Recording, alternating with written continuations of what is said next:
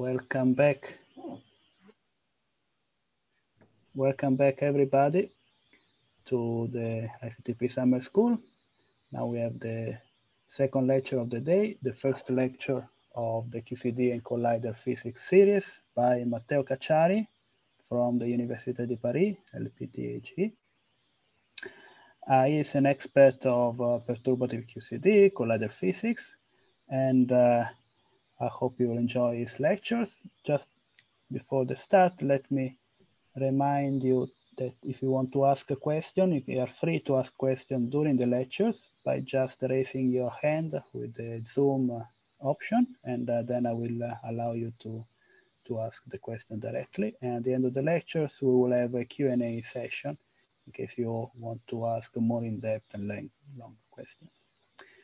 So that's all. Okay, so I'll leave the floor to Matteo, please.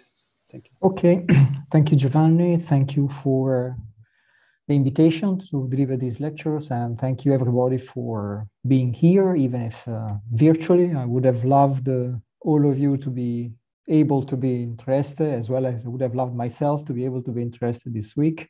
Unfortunately, it's not going to be the case. Uh, we have to live through this, and I will still try to make the lectures as similar as I would probably have delivered them in person over a blackboard, meaning I will deliver them by writing over my, my iPad, by writing notes. This means that you have to live through my handwriting, which is not necessarily great, but hopefully it will be enough to, uh, to understand. So uh, it's QCD and collider physics. Uh, so I will talk about QCD and colliders, and not necessarily in this uh, in this order, meaning that of course each of the two components uh, has an impact on the way we use or we actually uh, attack the other.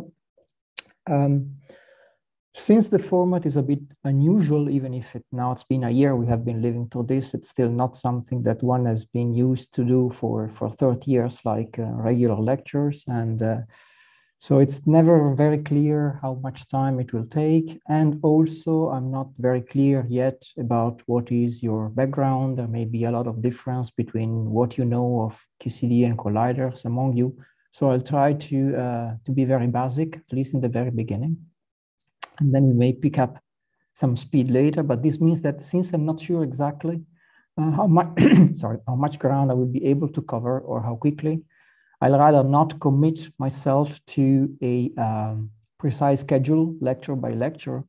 I'll rather give you some sort of, uh, how can I say, a cloud of uh, uh topics I will uh, work with. So of course, we have colliders, we have QCD, of course, that's the idea. And then what do we do with this? Uh, we are going to look, of course, on QCD calculation. Could be tree level, but also especially higher orders, uh, which will lead us to something like uh, infrared and collinear safety.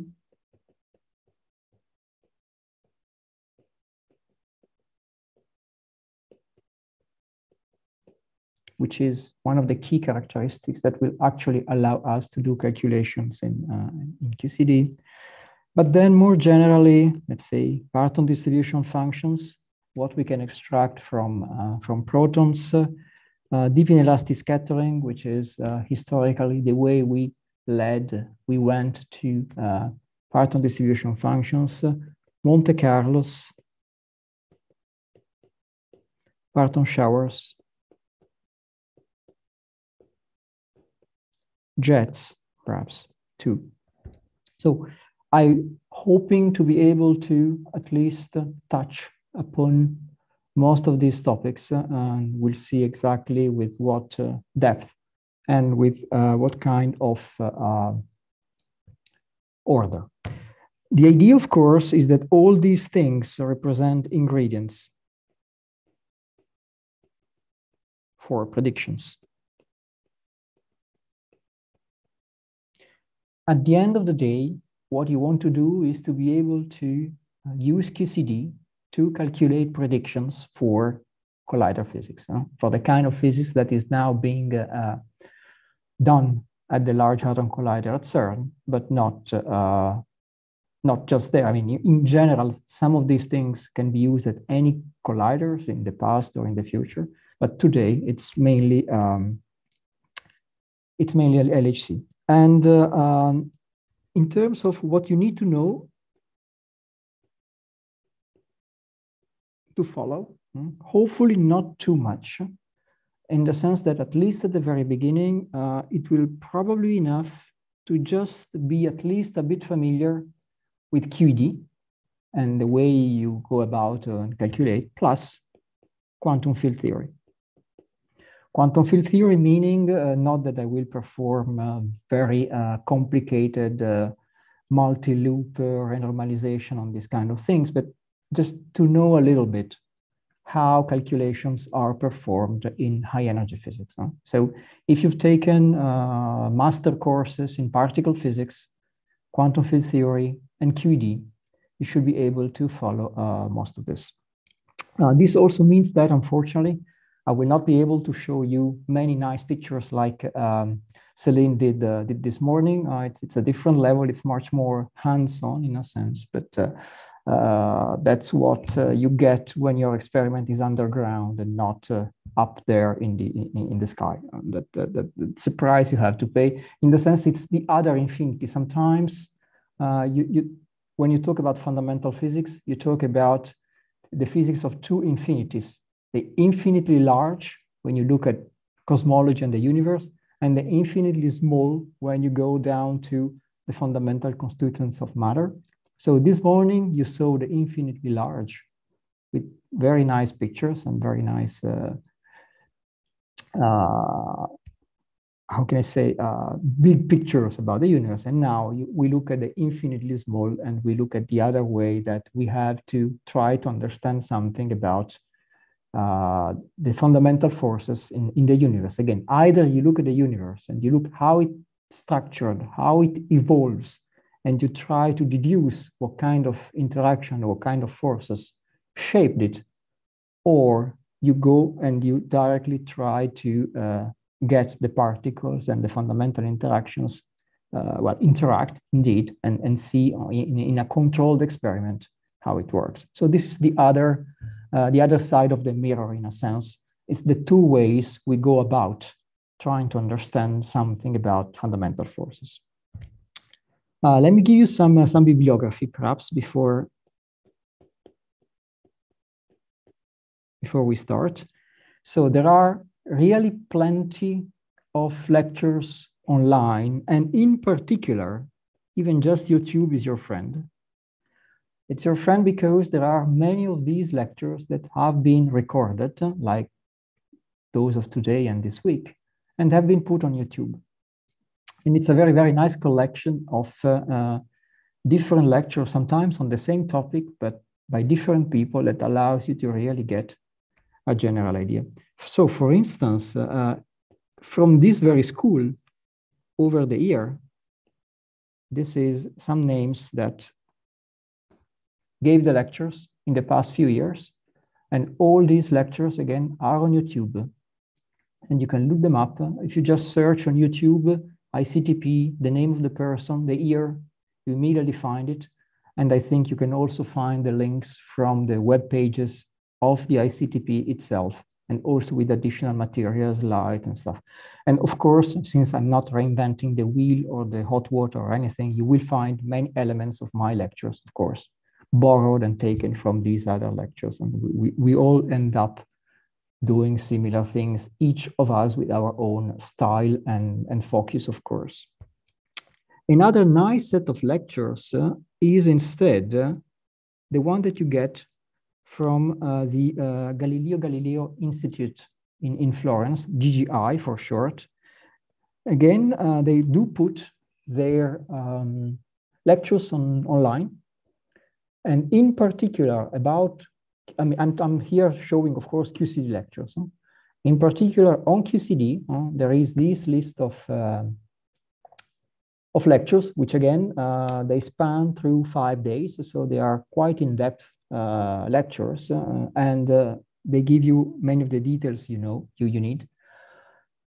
And if you don't like to sit through 10 hours of uh, YouTube uh, lecture, even though you may, of course, have realized that you can play them at almost twice the speed and actually you can still follow, uh, especially if you already know a little. So I, I have actually found that it's quite efficient to look through a YouTube lecture at twice the speed or 1.5, 1.75. It's usually enough to understand and it really allows you to uh, get in a lot of lectures in half your time. So, but I'm sure you know this better than I, better than I do. Anyway, so uh, these are the lectures, but then in, in some cases, there are also uh, written printed material. So for instance, from Michael Peskin, there is a very nice book on particle physics. I'm not talking about a quantum field theory book. There is a more recent particle physics book, which is more at the level of uh, phenomenology. Mm. So you have both the quantum field theory book, of course, Peskin Schroeder, you might know it, but there is also a much more recent particle physics book with many details.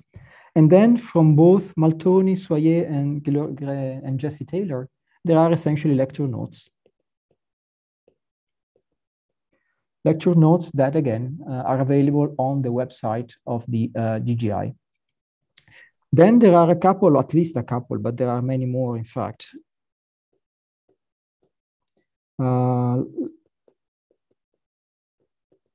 so Gavin Salam, again, this arXiv preprint, again, lectures on QCD and colliders, and somebody else, Peter Skands,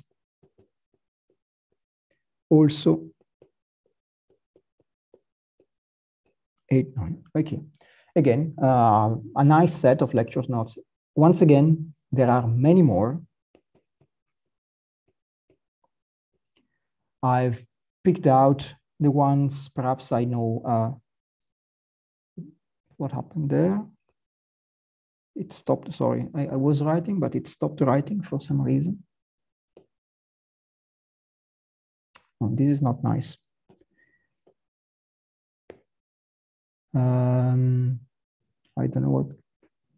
Do you see the, uh, no, you don't see the number for, for Peter Skands.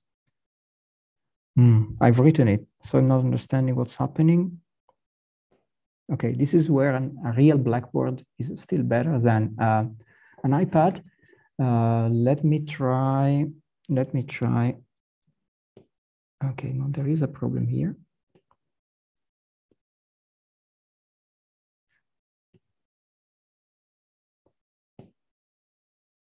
No, something is really, I'll try to, I'll just try to uh, stop the sharing and set it up again to see if it works. I'm sorry about that. Let's see what happens. I've, I've, I've taught all year this way, and now, of course, uh, let's try again.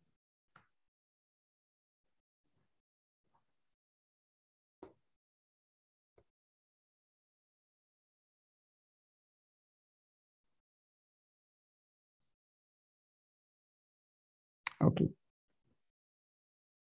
That seems okay. Yeah, okay, let's see if it repeats itself. So as I was saying, there is Pete, Gavin Salam, Peter Skands, of course, many more. I've written down the two I know better, uh, the, the, style perhaps that's closest to what I'm doing. But again, uh, there are very many other um, lectures that you can find on, uh, on the web. Okay, so um, we said QCD and colliders. Uh, let's start with colliders. And then you can ask yourself, why do we use colliders? Well, we use colliders because as it happens, breaking things is still the best way to look what's inside. And so if you want to understand what's inside the particles, meaning what is the interaction at the most fundamental level that you can actually reach. The best way to actually find out in a controlled experiment is to smash particles against each other and see what, uh, what comes out. On the other hand, the YQCD, well, the YQCD is that because especially at Hadron Colliders, you want to be able to control the environment you want to be able to make predictions, quantitative predictions, uh, in order to then control what comes out. Because as we will see, Um, the what we actually want to measure, meaning the, the, the, new fundamental physics, ideally physics beyond the standard model and stuff like this, it's actually quite rare. And it is actually very difficult, if not outright impossible, to actually discover something in all the mess, if you allow me the word, that you produce when you collide at high energy to, to protons.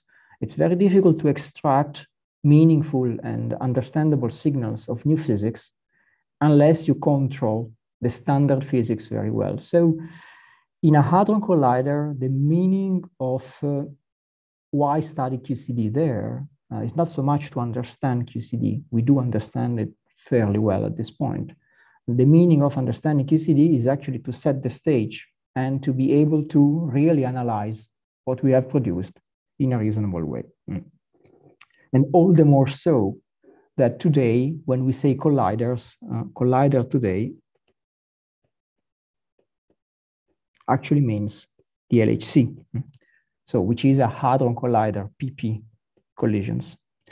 In the future, things may change a little bit. For instance, people are planning the ILC, the International Linear Collider, that should ideally, and should ideally meaning if it will ever be built, but it should collide E plus E minus, uh, so leptons. An easier collider to work with, but don't be fooled. Even E plus E minus collisions, especially at very high energy, still produce a lot of strongly interacting particles in the form of hadrons. Uh, hadrons eventually will come out at every collider.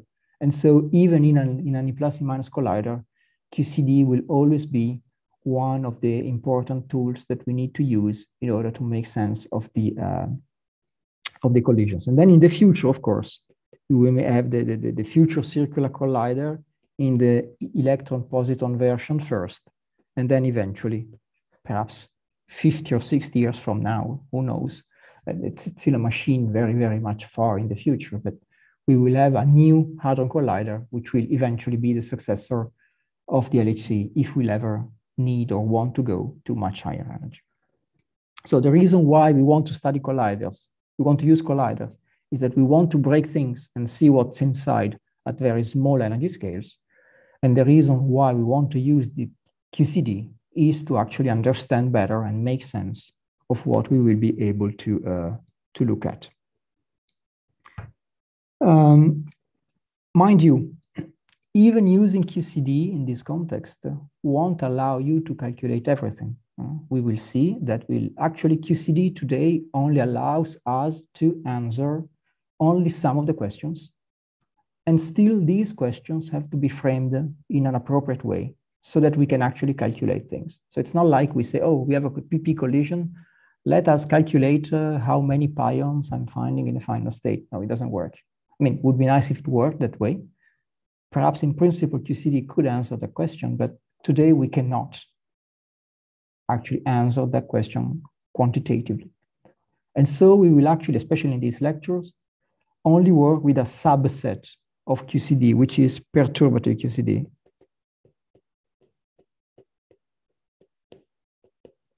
Or PQCD for short.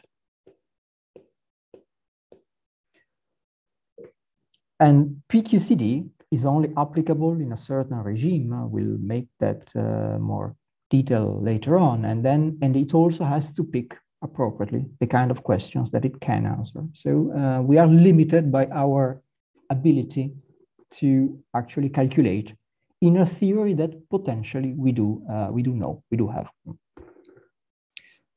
Uh, so eventually we will we want to be able to calculate uh, again with the restrictions that I'm just mentioning uh, something like, sorry, initial state going to some final state. That's what you do in collider phenomenology. You have an initial state set by the, the machine that has been built. You can't usually escape that, even if the LHC, for instance, allows you to collide the different kind of beams. You can collide protons, you can even collide heavy ions. We won't talk about heavy ions today, but it would be a very nice topic for a full week of, of lectures, of course. So with the answer we want to rather uh, answer in terms of fundamental physics at the level of, uh, let's say, fundamental interactions are things like the initial state is pp, proton-proton, and your final state could be, for instance, a Higgs particle. Uh, or you could have some, uh, again, pp that goes to, let's say, jets. We'll make sure to explain later what we mean by jets in the context of, uh, of QCD. Or again, at the deeper level, perhaps you want to know how often you produce a Higgs that then decays into virtual Z that then gives four leptons.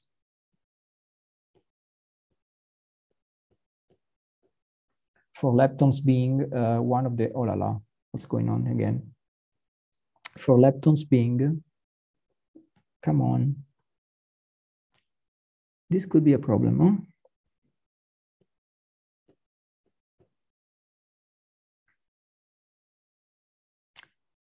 This could be a problem if it does this too often. Try again. It's bizarre. I've done this uh, plenty of time without any problem. And now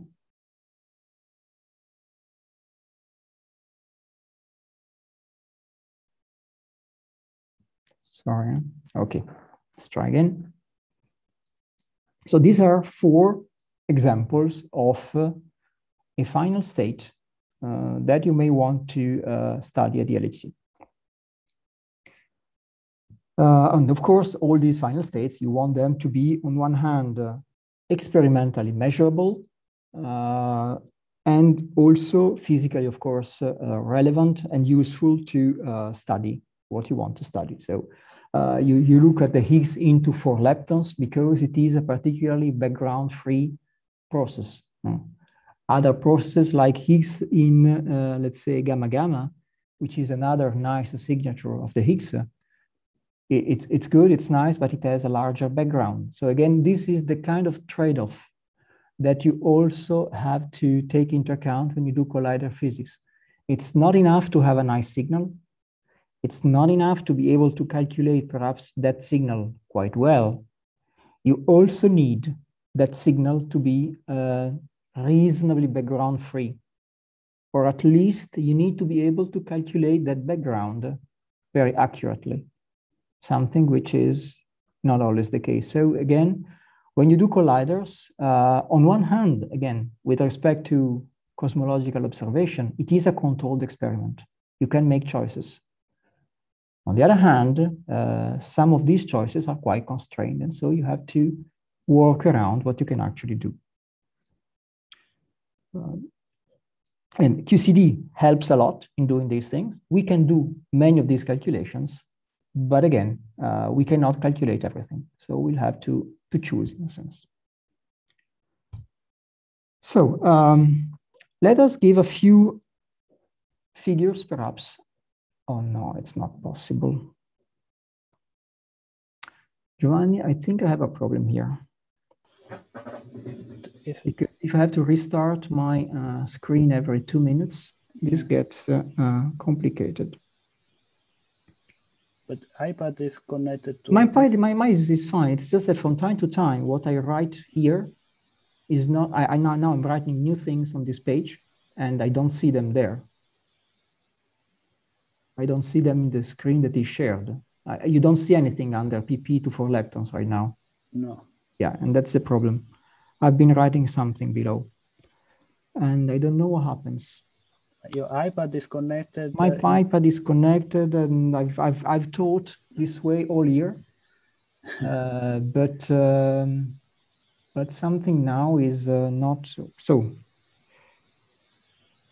Oh la la la! I'm not understanding. Let's try again. But if I have to do this every two minutes, it gets complicated.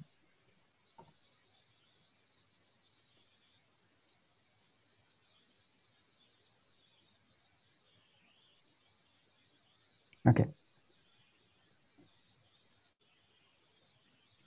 No, there is a... Try again.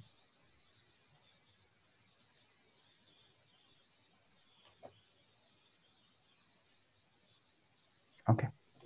So we want to give some, uh, uh, now let's try, yeah, it works. Let's see how long. Uh, we want to see, uh, to give some numbers about uh, colliders. Uh, so relevant question are how often we collide things.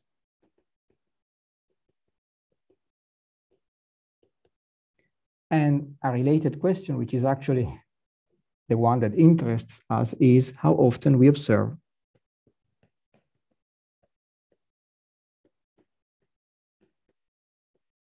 a given final state. The reason why we are interested in connecting these two questions is that in between, there is the dynamics, of course. Something goes in, something goes out,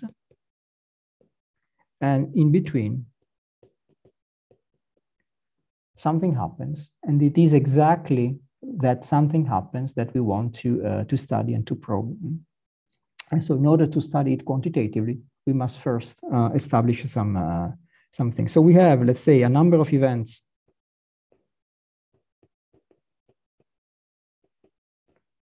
in final state, what we actually measure. And then we have uh, something which is called the integrated luminosity.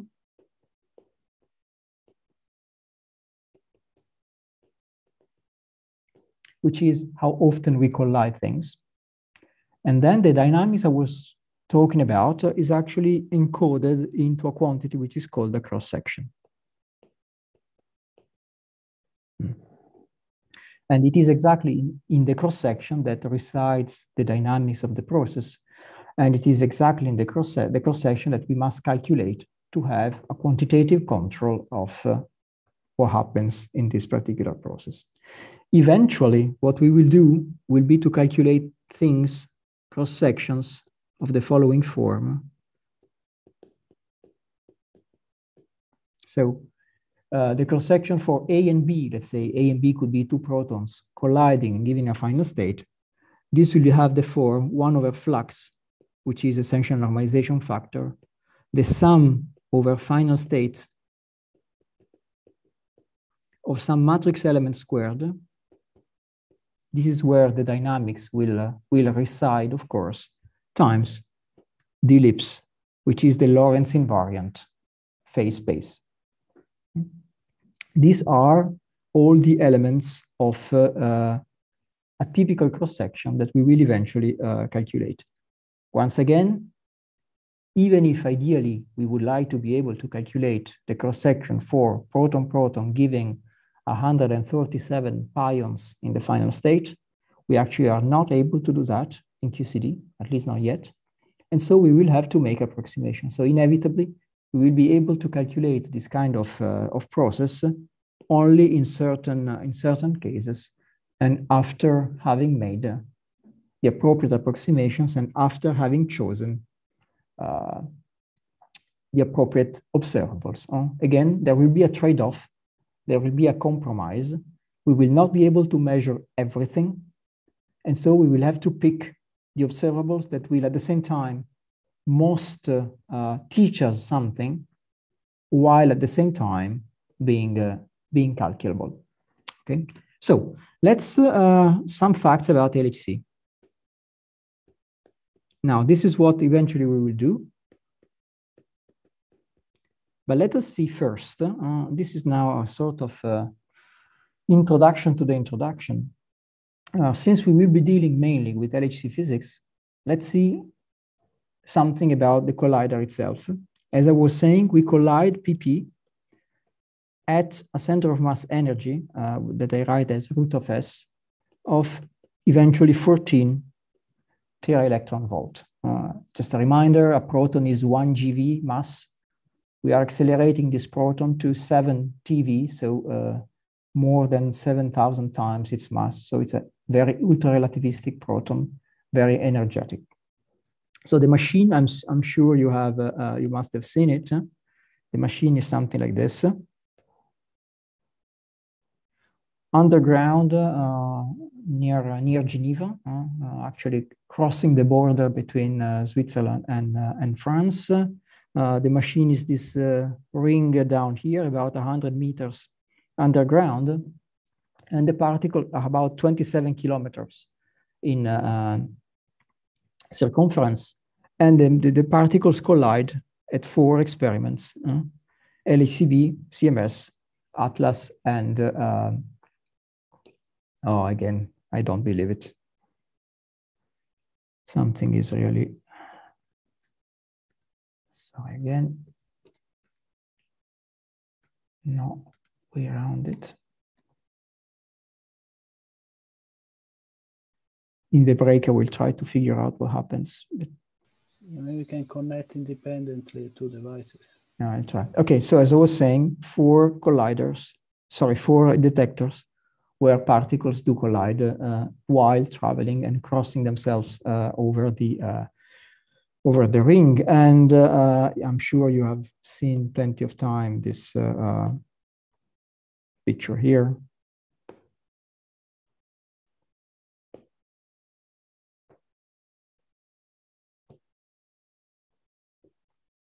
Okay, now the now even the, the, the iPad doesn't work anymore. Okay, this picture here, which you don't see.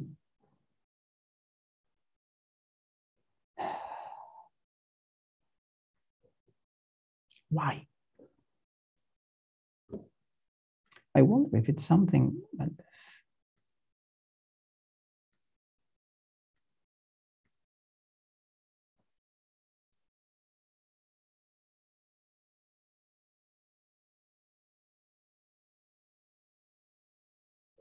Okay, so a picture of the tunnel of the LHC with the, uh, the beam pipe, the, the, the, big cryostats that contain all the cryogenic that then contain the superconducting magnetic field, the superconducting magnets that produce the magnetic fields that actually bend the particles around the, uh, around the ring.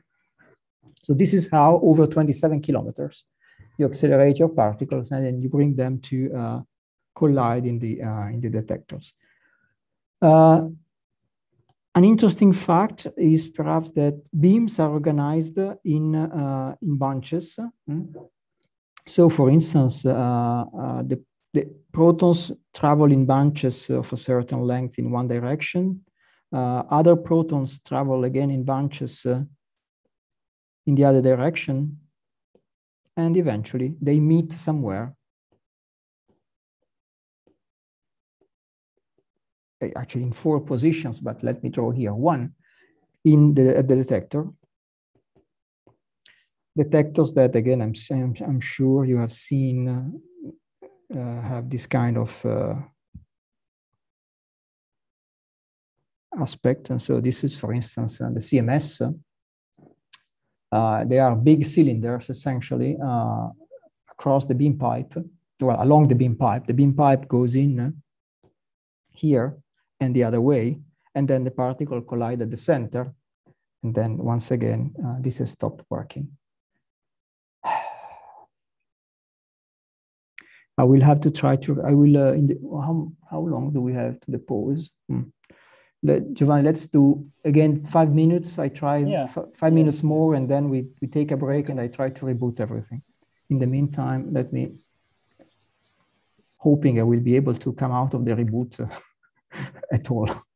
There's always a bit like rebooting the helicopter in Mars over Mars. You never know what's coming out out of, uh, of our reboot. Okay, let's do it again. Okay. So I was saying the particles go the beam pipe here, the beam pipe there, they collide at the center, and then you have plenty of things going out and then eventually hitting your detector. The detector is like a multi-layer. You see the, even you even see the layers here. There are sometimes different detectors sensitive to different types of particles, different energies, and so on and so forth.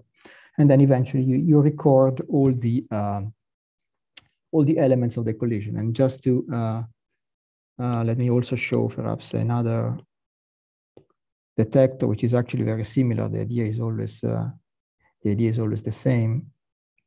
This is actually Atlas here, and it has the same kind of structure as you can see.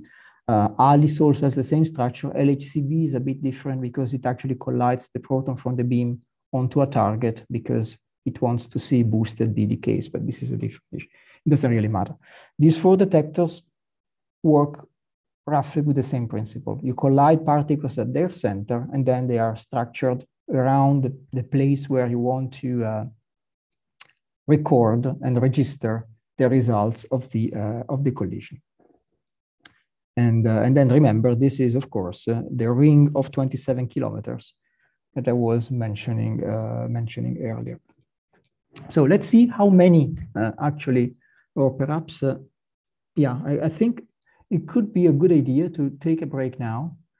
And, uh, and then we will talk, once I get my iPad uh, in working order, hopefully, talk about how many particles we actually do uh, get around the LHC and how often they collide and what kind of cross-section or kind of rates we can actually uh, expect.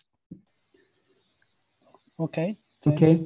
Uh, yes, it was proposed that you try connecting uh, your iPad as a new participant, independently of your uh, video, if you can. Uh, instead of instead of using the shared screen. Uh, yeah, I guess I can try that. Except, uh, yeah, the only problem is that you want. Uh, yeah, I can try. Okay, I'll try that. Mm -hmm. okay. Yes, in, in one of the two devices, please keep the audio closed. Of course. To avoid feedback. Okay, I'll try. See you in five minutes, hopefully. Okay, then we take a five minutes break. All right.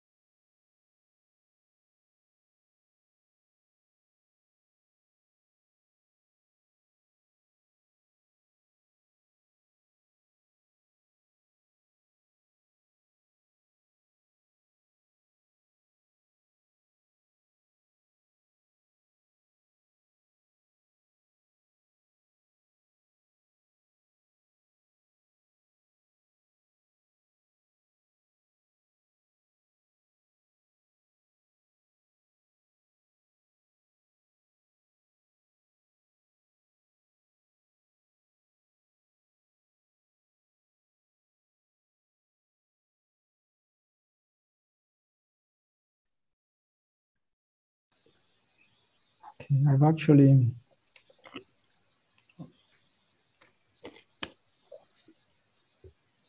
I have not connected directly the iPad because I'm not sure if I can then use the um, the note sharing, the note taking app in presenter mode. And I needed to be able to actually shift things from one window to another, but I've connected it differently. So let's see how it goes now. Okay, so we can try to resume. Let's hope for the best and then see how it goes. Um, right. Okay, so again, uh, the LHC, big tunnel, big beam pipe, uh, big superconducting magnets. Uh, you put a lot of protons inside it and you collide them in certain parts of uh, uh, your detector. So now let's see how many of these uh, things actually. So the beams are in bunches, as I said.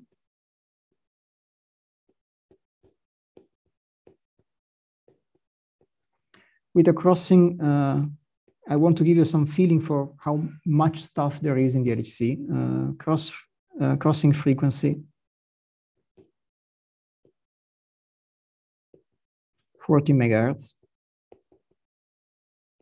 meaning that 40 million times a second. Ah, once again. Once again, this doesn't work. Um,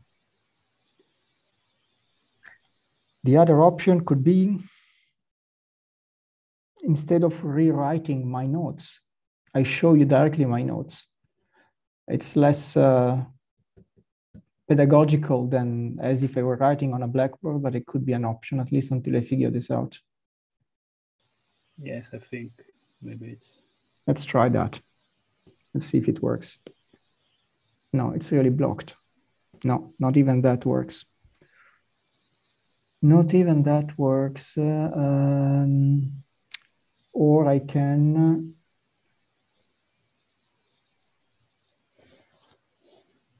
yeah let's do I, I do this uh, I do a PDF of my notes and then I use that I don't see any other way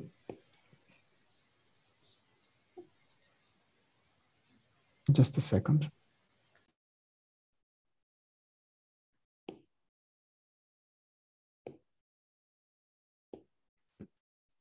It's not I was planning to do, but um, let's do this.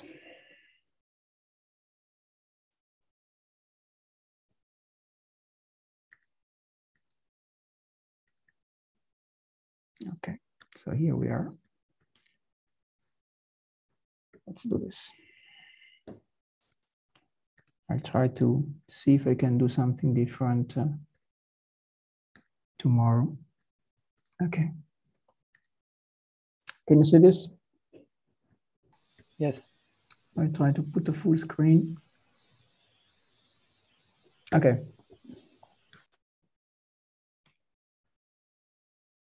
Mm. no, something is wrong here.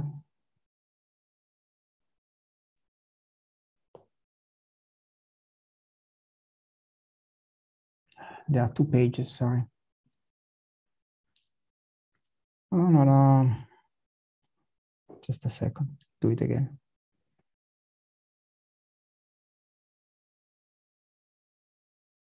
Murphy's rule. If something can go wrong, of course, it will go wrong. I've literally taught all, all year this way uh, without a glitch. I missed it. So the possibility of connecting the two devices independently did not work? No, I didn't try because I, I need to be able to use GoodNotes in presenter mode. And if I directly connect my iPad, mm-hmm. I'm not sure I can do that because I need to have two parallel, two, two simultaneous windows. Okay. So let's try this way. Um, let's try again.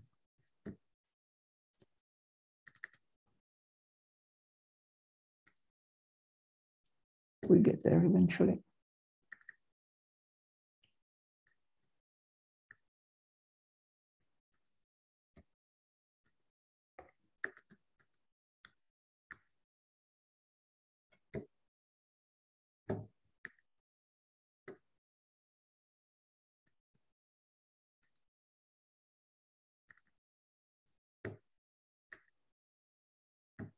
Okay, doc. Perhaps this time it's fine. Should not have bothered writing uh, unread notes at this point.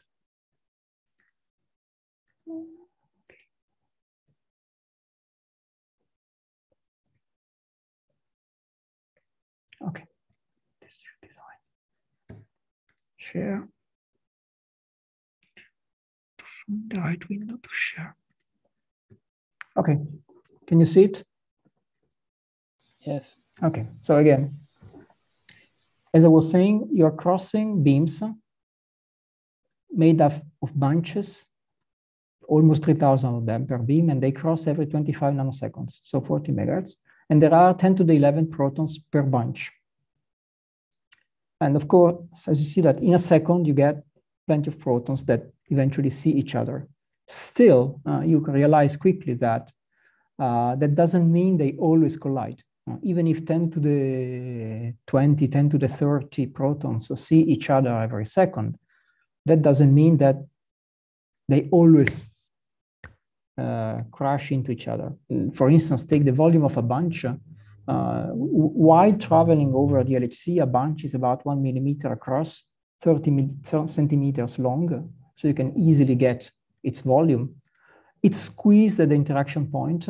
It's actually only about 16 uh, micrometers uh, wide, so uh, the density is higher, but still, uh, even if it has a very small volume, 10 to the minus 11 cubic meters at uh, interaction point, the volume of 10 to the 11 protons is still much, much smaller yet. a proton is about the size of 10 to the minus 15 meters. And even if you sum up the volumes of all these protons, you still see that they constitute a very minute fraction of the volume of the beams. So there is a lot of empty space, even if the beams are so much squeezed when they do um, meet each other. So um, how often they do collide? That's the first question that we can ask. You collide protons, how often the protons collide? It's not so much the proton collision that we are, I mean, it's not so much every proton collision that we are interested in, but to get a feeling for how often something happens in the LHC, we can do this exercise. So geometrically, and we are looking here just at how often two particles that have a certain size collide each other, uh, you take the luminosity and you multiply it by the cross-section. So the luminosity is given by this formula here. It's called the instantaneous luminosity at the LHC. It's the number of protons in, in, a, in a bunch, the number of protons in another bunch, their crossing frequency, divided by the beam cross size, which is, as I was saying, 17 micrometers squared.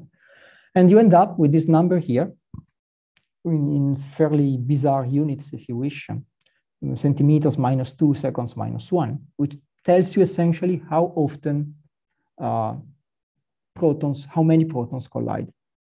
And then there is the cross-section of a proton that you express here in take its diameter roughly, 10 to the minus 15 meters. So square it and you get a cross-section of 10 to the minus 30. Of course, you're not interested so much in the instantaneous luminosity, but in how much luminosity you accumulate by running the collider all year round or almost all year round. Mm, and that's the integral of the instantaneous luminosity times the time. The typical time you end up being able to run a collider is something like a third of a year. In a year, there are about pi 10 to the 7 seconds, as you know. That's not because it has anything to do with pi, it's purely an accident, but it's a nice number to remember. So pi 10 to the second is the number of seconds in a year, divide by 3, you get something like 10 to the 7, you multiply by this, and you get this integrated luminosity, 10 to the 41 centimeters minus 2.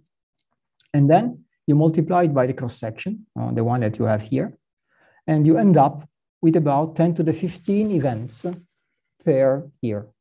So this is how many proton-proton collisions you get by running one year of the LHC. It seems a lot, it actually is a lot, but it's not the lot we are interested in because, well, we know proton collisions since uh, 70 years and it's not really what we want, why we build a 10 billion machine uh, for. Uh, we want to do something, something different. Uh, the first thing uh, I do, because I will then use the units later on, is to rewrite everything using a new unit, which is the barn. The barn, as you know, if you've already done particle physics, is a, a unit uh, of uh, surface. And one barn is 10 to the minus 28 meters squared, or 10 to the minus 24 centimeters squared. And so if you rewrite the proton-proton cross-section that we had calculated earlier using the proton size, 10 to the minus 30, you get it something like 10 to the minus 2 barn. In practice, uh, when you do the experiment, is more like uh, here we are really estimating the back of the envelope and uh, uh order of magnitude. If you try to actually measure it in practice, more like a tenth of a barn, the, the proton-proton total cross-section. And also the integrated luminosity, uh, the 10 to the 45 meters minus 2 per year that we calculated earlier can be uh, re-expressed, sorry, can be re-expressed in this inverse femtobarn per year uh, amount, which is a fairly bizarre unit, but it's something that then allows very quickly to do the calculation. So uh, using these uh, units, uh, you can again estimate the number of uh, um, PP collisions and you get the same thing, uh, give or take uh, one order of magnitude. Again, we are uh, not really at plus or minus one order of magnitude, 10 inverse femtobarn per year times a tenth of a barn. And you end up with 10 to the 16. Well, it was 10 to the 15 earlier because we had used 10 to the minus 2. Now it's 10 to the minus 1. It doesn't matter. So 10 to the 9 seconds collisions per seconds. Again, it seems a lot. It is a lot, but it is not a lot we are interested in. In fact, uh, these are even too many to actually record on disk. We cannot record all these collisions on a disk if you wanted to. It's 10 to the 9 per second. At the end of the day, if you sum the data for all the channels in a detector, one event is well, it's smaller than, than, a, than a picture. It's one megabyte. Today's cameras actually do much better than that, but it doesn't matter. If you wanted to write down all the information that the detector gathers from a single collision, you would need to write down one megabyte. But if you have 10 to the 9 collisions per second, this would meaning having to write one terabyte per second. There's no technological way to do this today, or at least there's no technological way at a decent cost that allows you to write down one terabyte per second. You have to reduce this by at least a factor of three, 10, so that you can write something like one gigabyte per second. One gigabyte per second is doable with cost-effective technology. So you might say, fine, what's the problem? We have so many collisions, just take one every uh, 1,000 and, and we're done.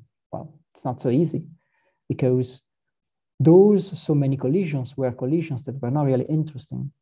We are interested in something that is actually much rarer. And if you start throwing away one, I mean, if you start throwing away 999 collision every 1000, you are end up being left with very few of the interesting collisions you are actually interested in. And I give you an example.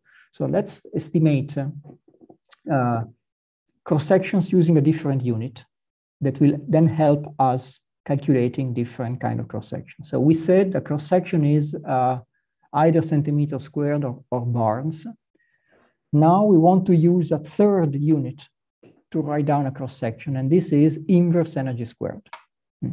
Why we can use inverse energy squared? Because uh, there is this combination of uh, fundamental constants h bar and c which can be written in MeV, so energy unit times femtobar distance unit. When you go to natural units, h bar equals c equal one, then you can just convert quickly something like the proton radius, 10 to the minus 15 meters, so one femtobar, one femtometer, sorry, in one over about 200 MeV. Remember this number because it will also come out again later when we do QCD. For the moment, just remember this thing, proton size equal 1 over 200 meters, uh, 200 mega electron volt. Hmm? Remember this unit, remember this number, we'll meet it again. So the sigma pp cross section, we estimate it again using these different units, 1 over 200 MeV squared. And then you can convert these two barns using h bar c squared. Um, this will give you the conversion, but you can go back to what we had before. But remember this 1 over 200 MeV squared. Now, um, consider now a cross-section instead for weak interactions. Uh, Proton-proton is, uh, again, things from, from the 50s. Uh, now we want to do more modern stuff. We want to go towards weak interactions and then eventually beyond standard model, Higgs or beyond standard model. A cross-section for weak interactions is in first approximation proportional to G Fermi, the Fermi constant, which controls in the Fermi model the, the weak interactions. Even we, I don't even need to go to W and Z bosons. Just use uh, weak interactions from the 50s. GF is something like uh, 1 10 to the minus 5, GeV to the minus 2 very conveniently, it already has units of energy minus two, so it's directly an estimate for a cross section. I could have used one over 100 GeV squared, uh, the mass of the W boson, but it doesn't matter. It's the same thing. So this tells me that if I compare now sigma weak, uh, any weak process uh, roughly, with uh, sigma pp, I get 10 to the minus 7. So I get a weak event only once every 10 million PP events. And now you see that if you start throwing away indiscriminately uh, PP events, uh, you're not left with so many uh, weak collisions. Uh, this is, gives you uh, an idea of the, of the different uh, sizes. Here is the total sigma PP. Here is the 0.1 barn we were mentioning earlier. Down here is our estimate for the typical weak cross section. So at least six orders of magnitude. We, we estimated seven, but again, it's order of magnitude calculations, plus or minus one doesn't really matter. But if you want to, go, to, do, to, to do even rarer processes like Higgs, for instance, look at Higgs. Higgs is down here another something like uh, five, six orders of magnitude. Double Higgs, which is uh, fundamental to actually get this Higgs self-coupling measured, something we cannot do yet at the LHC, is even lower. So you see, it's, it's, this is something like uh, 13 orders of magnitude with respect to the total sigma pp. So this tells you how rare the real interesting collisions are with respect to the total rate of collisions that we uh, that we produce. Uh, and we have to produce so many because we want to extract the very rare ones that then are the interesting ones. So this actually tells you, well, a couple of things. It tells you why you need to spend so much money in colliders, because you need to have a large energy, but also a very large luminosity in order to produce sufficiently many collisions. And it also tells you why you need to perform quite uh, detailed phenomenology calculations and predictions, because you will have to control backgrounds that sometimes can obscure very, very rare events. So it, even if, as I was saying earlier, breaking things, it's still the best way to discover something uh, one usually gives the example of, well, colliding protons is like throwing two garbage cans and then seeing what flies out. Sure, fine. The problem is most of the things that fly out from these two garbage can collisions are not the things we are interested in. We are interested in some details that we have to go and look in very rare cases uh, uh, that come out of these collisions. Uh, and here there are some numbers. So uh, Higgs boson, for instance, has a cross section of 10 to the 2 picobarn. No? So uh, even in an LHC uh, with full luminosity, 10 inverse femtobarn, you would still get only 10 to the 7 events per year. And they say only because then most of the decays of the Higgs would be buried in the background. You would never be able to see them, and you can only see some rarer decays that would further reduce the uh, number of uh, useful events. And this is an example here. Um, uh, the, branching ratio of Higgs into uh, gamma gamma, which is one of the main discovery channels, is only about one in a thousand. So that 10 to the seven actually already comes down to 10 to the fourth, and then you still have to detect all these things. Also, uh, when we discovered the Higgs about 10 years ago, the, the LHC was not yet delivering 100 femtobarn, inverse femtobarn per year. The discovery was made with about five. So again, uh, you cannot really afford uh, throwing away things. And even rarer, but this time with less background at least, Higgs discovery channel is the one I was mentioning earlier. Higgs that goes to ZZ, that goes to four lep, they go to four leptons. And eventually the Higgs was discovered with about 10 events per experiment in this channel.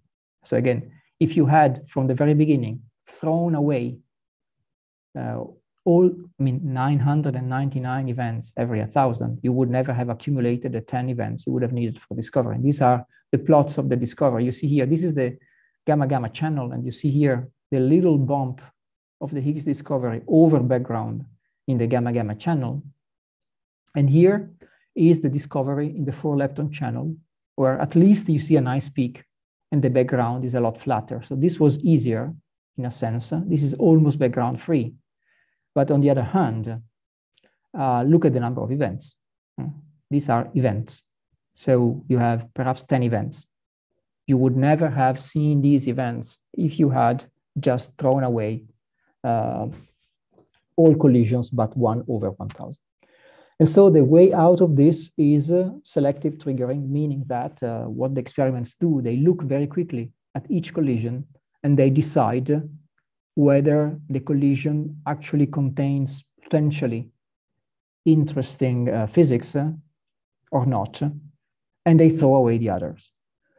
Um, needless to uh, say, in order to do this, you have to be able to tell, to predict how many collisions uh, out of the interesting ones uh, your trigger is keeping, because then you want to be able to measure the number of events and then measure a cross section. So you cannot just do this without any idea of what you're doing. And this is where, again, simulations and predictions come in. Uh, triggers various levels of triggers in uh, the experiments are devised making use of predictions of production cross sections, uh, both for backgrounds and for the signal. So this goes in the direction of uh, what you want to discover these days in colliders is way too delicate, way too buried inside everything else to just do it without an accompanying phenomenology that calculates things and, and, and, and predicts things and actually allows you to prepare yourself for what is going to come. If, I mean, most of you are definitely too young to, to know this, but uh, um, one of the incredible feats, I would say, of the LHC was that it went in two years, 2010, 2011, 12 hmm, from switching on the machine to Higgs discovery. It was done in two years. Uh, 20, 30, 40 years ago, it would have taken two years just to understand the detectors. The LHC was able to uh, actually start up and running immediately because uh, all the simulation work that had been performed to prepare the experiments. So everything had been simulated properly, everything had been uh, studied so that people knew how they, I mean, roughly knew what kind of behavior their detectors would have had, thanks to even detector simulation. And people knew what kind of uh, uh, events they would have expected with kind, with kind of topologies. They were able to prepare the analysis beforehand and so on and so forth. I say this to you because today you may take this as absolutely for granted. Of course, we can simulate.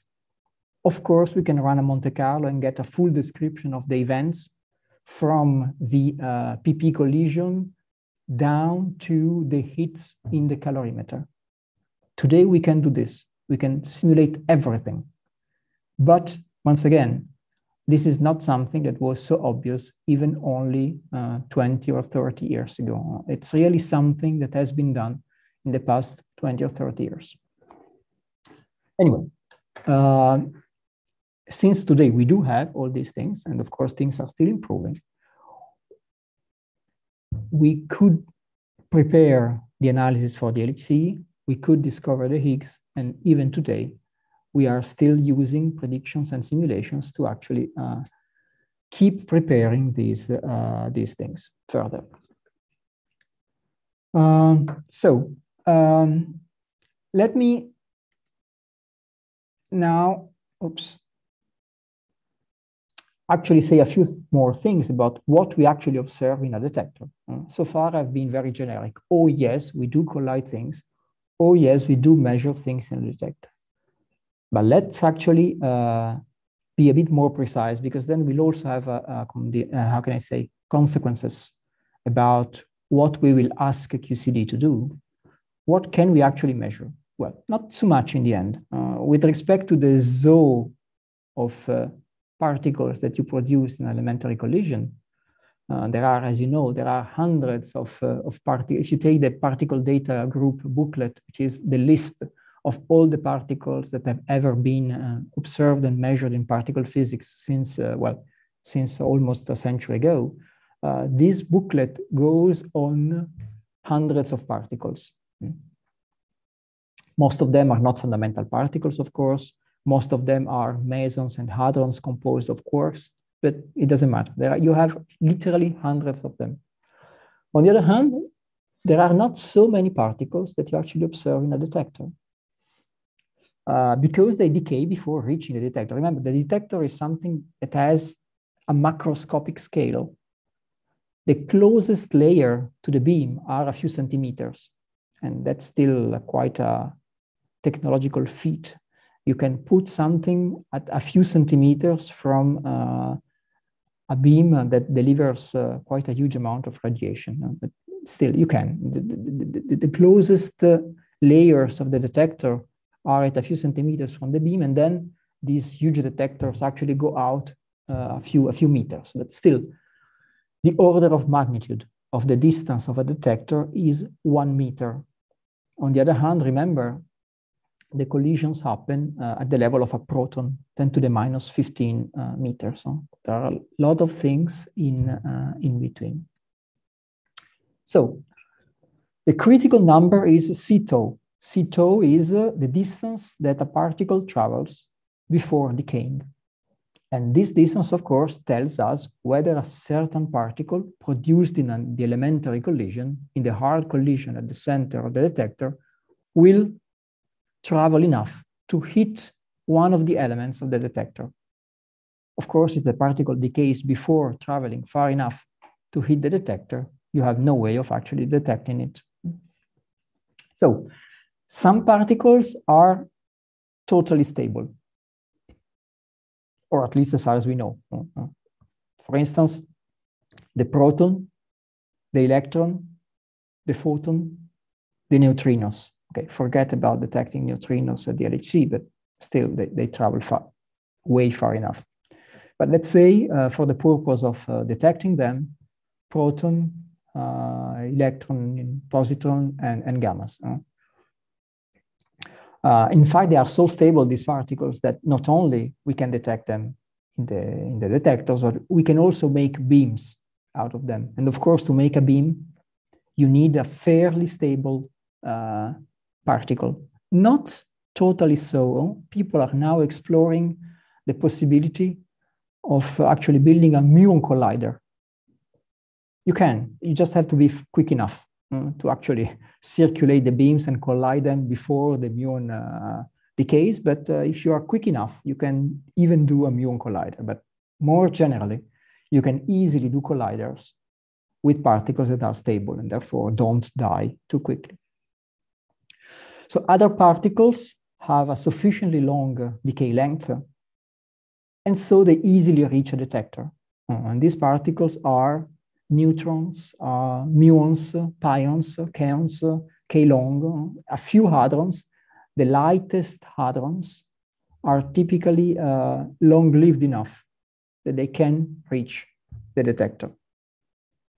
Uh, and others uh, actually, and so we can see these particles. Uh, this is the typical layout of an LHC detector. You have uh, the tracker here. They are typically silicon elements that over which you can actually record the uh, hits of the various particles and then reconstruct the track of the particle from the many hits that you can actually uh, see over these uh, uh, detectors here. So these are the, the, elements that are closest to the um, to the beam, and they are typically immersed in a, in a big, strong magnetic field that bends the tracks. And this allows you to reconstruct the mass of the particle. Then you have, then you have an electromagnetic calorimeter. Uh, as the name says, uh, it detects uh, uh mainly the electromagnetic particles, so electrons and photons. You have um, a hadron calorimeter. This is where pions, uh, neutrons, uh, kaons, protons eventually deposit their energy and stop so that you can measure them the, this is CMS. So this is the, the solenoid uh, of CMS that generates the magnetic field that you have inside here. And then out here, you have the muon chambers. The muons are the particles that punch quickly, easily through all the detectors. So they traverse all these detectors here. They traverse the solenoid and eventually you detect them in the muon chamber far out. These are 10, 20 meters out from, uh, oh, actually a bit less, sorry, seven meters solenoid, yeah, sorry. CMS uh, is compact muon solenoid. So seven meters uh, radius is a compact detector. Atlas is much bigger. Atlas is something like 20, 20, 30 meters. So this is the compact one. So you detect eventually the muons. So these are the particles, as I was saying, that you easily see in the detector. Then there are other particles. Uh, this cannot be 10 meters. Uh, I cannot remember. This is perhaps centimeters. I can't remember what I've written. This must, yeah, must be centimeters. These are particles that decay actually very quickly, but we can still somehow observe them. Uh, either we reconstruct the invariant mass of their decays, um, the displaced vertex. In the case of a bottom, for instance, it, its, its decay length is long enough that if it's even boosted by a Lorentz boost of the center of mass frame of the collision, it gets to those few centimeters that allows us to actually see it when we reconstruct the track in a detector or other characteristics of the decay products, etc. So these are again particles that we can more or less easily pinpoint in a modern detector like the ones of the LHC. We could not do this 20, 30 years ago, but we can do this in modern detectors. On the other hand, these are not the particles that we're interested in. These are uh, particles that were all known since, uh, uh, I would say, the, the latest discovery is the bottom quark in 76, 77. So these are particles that have been known for 50 years. That's not what uh, we are about at the LHC. That's not why uh, we have invested 10 billion years, at, sorry, 10 billion euros of dollars and 30 years of work from about a thousand people to actually uh, to actually find out. We want to measure weak interactions. We want to measure the Higgs. We want to measure whatever beyond standard model physics may actually or not be there. So, and everything else, uh, this every, all these other physics uh, must be deduced exclusively from the measurement of these elements. And you see the difficulty, the challenge. The challenge is to measure something that is actually quite far from what we are interested in. We can only see things that at the detector level, we will identify as an electron as a positron candidate, so a deposit in the uh, electromagnetic calorimeter. and I've, I've, i think I've, I've missed I, the photon is there, or the photon, again, a deposit in the electromagnetic calorimeter. A muon or anti-muon candidate, something in the big muon chambers that are far out from the detector, something that deposits energy in the electromagnetic, in the hadronic calorimeter, but also leaves tracks in the tracker. This will be a charge hadron, something that deposits energy in the hadronic calorimeter, but does not show up as a track, which will be a neutral hadron, or some missing transverse momentum that could have been carried away by some unseen particle like a neutrino or whatever else. We don't, we cannot, a dark matter particle, for instance. Imagine we produce a dark matter particle in the LHC. It won't interact, probably, or at least not easily. Uh, and it may, or if it is a long-lived one, it may uh, decay into something we don't see. I don't know. I mean, whatever we, we cannot see can show up as missing transverse momentum. So not seeing something in a detector is actually an observable. This could be a bit counterintuitive, but that's the case. Huh? If you expect to have energy momentum conservation as you do, and something is missing, it means that a particle that you cannot detect mm-hmm. was there. So missing transverse momentum is an observable class, like the others I've listed here. And this is pretty much all you can actually see in a detector. See, this is uh, what you can see, what you can measure.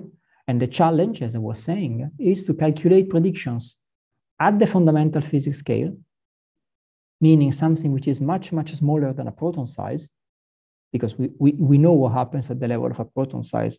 Now we want to go deeper and connect it through many other magnitudes to the um, uh, to the um, to the observation that we can perform in the detector.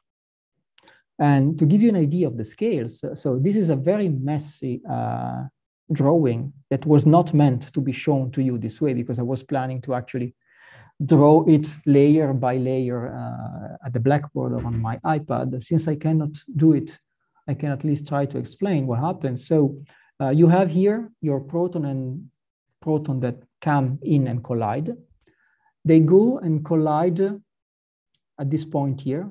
And this point is actually at a scale, well, you see, uh, it at a scale uh, that it is at the order of the one TeV or, or, or less. Mm. This is where, this is the energy of the LHC. Inside here, especially if I go at a size smaller than this, smaller than one over TeV, this is where beyond standard model physics has to be. Why?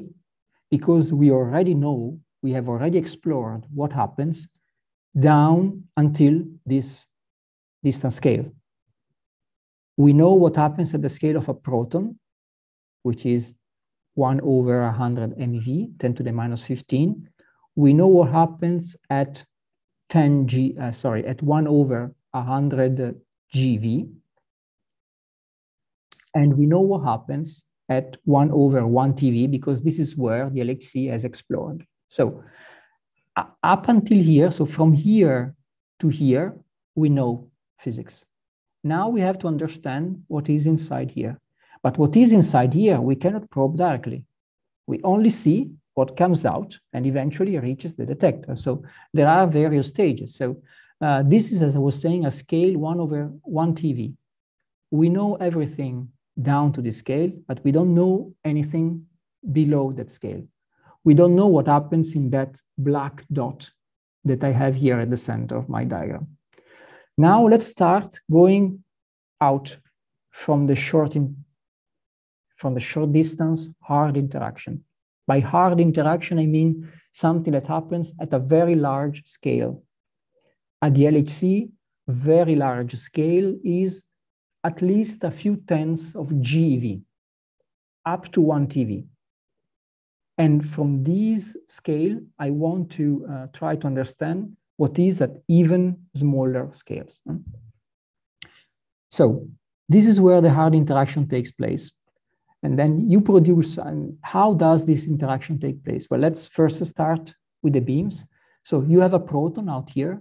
And as you get here, so this is the size of the proton. This circle here is the size of the proton, 10 to the minus 15. A proton is still a proton a bit below this scale. But then eventually I know, I know from QCD, I know from the lectures I will do later on, that inside the protons there are constituents, gluons, that eventually collide in the hard interaction. What collides is not a proton. What collides are constituents of the proton itself. We know because in the past 30, 40 years, we have explored scale distances below the proton size. We, are, we, we know physics down to about 10 to the minus 18 meters. We know what happens down to 10 to the minus 18. We do not know what happens below 10 to the minus 18, 19. So we do not know what happens inside here, but I do know what happens here. What happens here in this shell that I call the PQCD, perturbative QCD, and this is where I will be working in the next few days. I know that the proton is made of quarks and gluons. And so I've depicted here in my very bad drawing style something that is not anymore a proton, but it is quarks and gluons that eventually collide. So they collide here, and then something goes out. Well, what goes out will be a lot of things. Uh, can be Higgs bosons, can be W bosons, Z bosons, can be supersymmetric particles, can be other BSM particles, I don't know. Uh, or it can be simply quarks and gluons. And this will eventually propagate out from the short distance collision. And then what happens? Well, I know from perturbative QCD calculating this shell. Then there is another shell, which is still QCD. Uh, I called it hadronization, parton distribution functions and fragmentation functions. This shell here, which is still inside the proton radius, you see, I'm still inside the proton in this shell here. What happens here is that uh, the, the quarks and the gluons eventually fragment, hadronize into the hadrons that we know. Once they are at 10 to the minus 15 from the hard interaction, once they are as far as a proton size, then they are hadrons. Everything has happened in a sense. From here on, what happens in the, this is not to scale, huh? this is 10 to the minus 15, this is one meter. So of course, uh, this is the, at the particle level, these shells here, whereas the last shell here is simply at a macroscopic level. So once I've done that, the particle get out here, they may decay, they may just travel directly to the detector, and eventually I get to those sets of particles that I told you before, I can detect in a detector. So you see that, I mean, this, this, this drawing was meant to give you an idea of the complexity and of all the stages that one has to go through from the short interaction where things happen, where I can calculate what I know, but some things I do not know may also happen and I will have to infer them from the results if I see discrepancies between what I observe and what I calculate.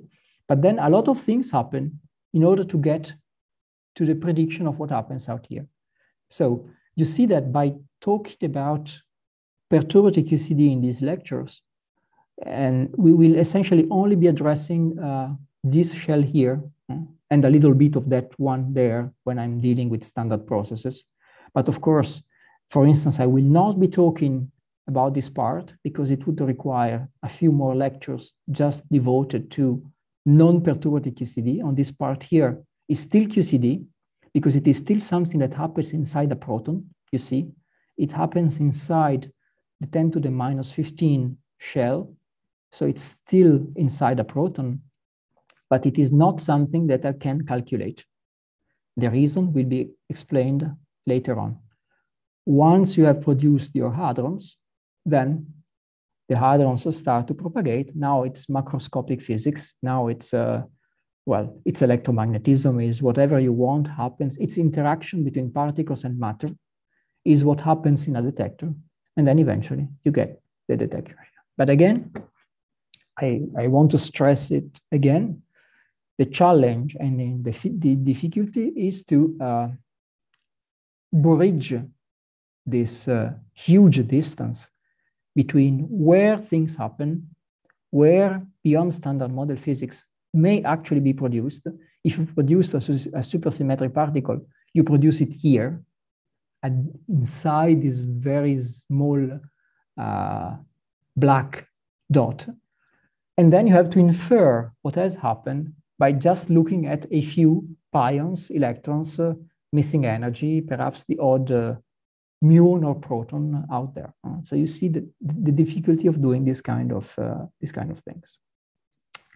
Um, so uh, this is exactly what I wanted to uh, to say. One so this page is essentially describes what I've just uh, what I've just said. We will use QCD to at least take care of the predictions in one particular shell, knowing that uh, if you want to control the whole uh, the whole process, there will be many other um, stages that will have to take to be taken into account. So QCD is one of these stages is one of the very important ones at the LHC, if anything, because it's protons that you collide. And so your initial state is made up of particles that are sensitive to the uh, strong interactions that QCD tries to describe.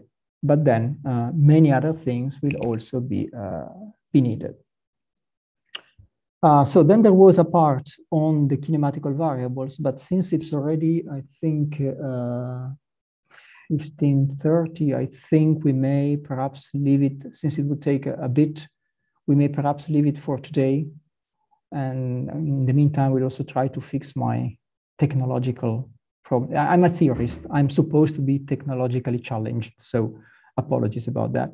Uh, and uh, perhaps we go to some questions and then I can try to squeeze this uh, into tomorrow's lecture. All right. Then uh, thank you very much for the nice first lecture. And uh, I guess we can uh, move to the Q&A session. So if anybody, I haven't followed the chat, so I have no idea what is being asked. I will. Uh, yeah, I will. Uh, okay, so there is uh, the first raised hand. I'm going to unmute Max Barkentin. Please. Yeah, hello. So thank you very much for this very nice talk. So I have one very particular question about. So you had this, you had this slide where you showed the, the detector and um,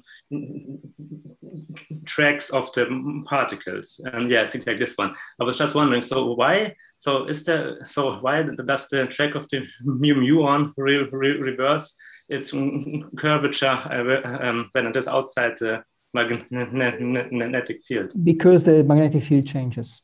Inside, you have one magnetic field gener generated by this solenoid, and outside, you have a different magnetic field. Okay, but because I, I, I, would assume that since the so the um, magnetic field inside is probably homogeneous, right? So, but then I would assume that so right outside of the solenoid there should be a very large region where there's no magnetic. I, I, confess I cannot remember what shape a solenoidal magnetic field has inside there. You should ask an experimentalist. But the, the, reason why the, the, the track is drawn that way is simply to to show that there is a different magnetic field inside and outside of the solenoid. Okay, thank you. Okay. John. That's weird because it took me. I don't know who is a user. oh. We have a couple of. Uh, yes.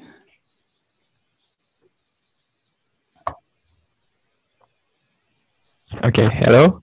Hello? Yes. Okay, thank you for the nice lecture. Uh, my question will be on this uh, triggering. Uh, so you told that we cannot record everything, so we could we need to make a selective uh, triggering. But for example, for Higgs decaying into two photons, I think uh, just the final particles specified as two photons is not enough selective. So um, is it always the case that we can find some further features to select uh, enough as much uh, processes that we can record or like how it goes on? Uh, I think it could be, I mean, uh, you should consider that first off, uh, one of the main signals that something interesting is happening, that you have at least some activity at very large trans- at large transverse momentum, because most of the times the protons will come in, will collide, and then whatever happens will just go down the beam pipe with no big activity in the, in, in the transverse direction. The only way to have activity in the transverse direction is that something very massive is produced, or something very massive, I mean much, much more massive than the proton. A proton is one GeV. And so the typical fragments will have a transverse momentum of the order of one GeV at most, if nothing harder happens.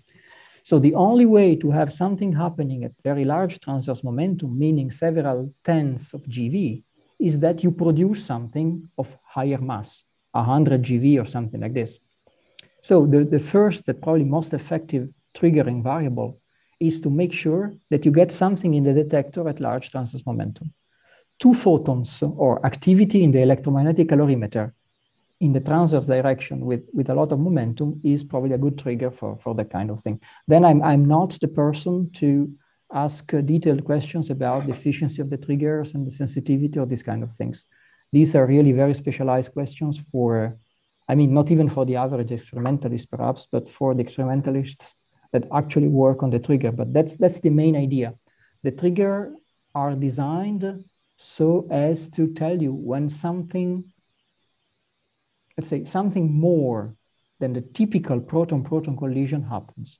And one of the uh, ways of actually uh, telling that is if you have significant activity in the transverse direction, meaning a few GeVs. And actually, here would have been useful that the lecture I couldn't finish because I will talk about the, the observables, uh, I mean, the, the variables that we actually measure uh, tomorrow, but that's the idea to observe things in the transverse direction and to have something with at least several tens of GeVs coming out.